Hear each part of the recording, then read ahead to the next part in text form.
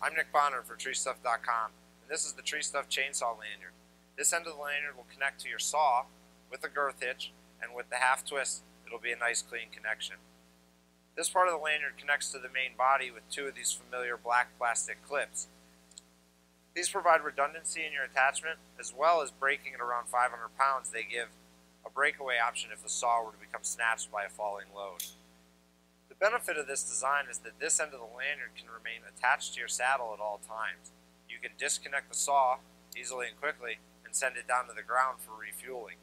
Then, when it arrives back, you connect it to your lanyard, and there's no fumbling around the back of your harness looking for a connection point.